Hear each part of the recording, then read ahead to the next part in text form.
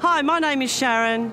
I was part of the Own the Dream team 2020, and I was very lucky enough that my syndicate team, Cywerbroke, we won first prize. We won $10,000. We won two years free of no training. It was the best experience of my life. For someone that doesn't know anything about horses, oh my gosh, I now own two. Well, I own a tooth and maybe an ear.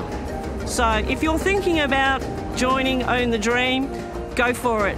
It's very exciting. My horse is Are. She's won two out of five races and she's come second in three, so she hasn't failed yet.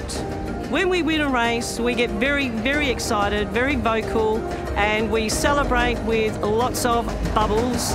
Cywer to an enormous roar from the crowd here at Penny Park. Just wins from twice a fortnight.